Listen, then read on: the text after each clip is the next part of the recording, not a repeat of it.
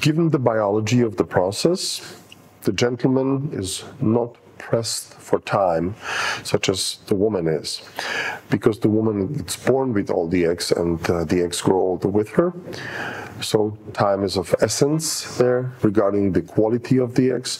In the gentleman, which produces the, the, the sperm cells actually fresh throughout his reproductive life, there's more time to think about that. Still, it might be a good idea uh, because there might be a disease, injury, or actually after 40, the quality of the sperm cells does deteriorate from the genetic point of view.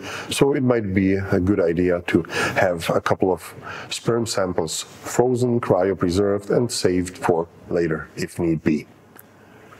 In the gentleman, it's actually a rather simple and non-invasive process, which uh, is much easier than in the woman and much cheaper as well.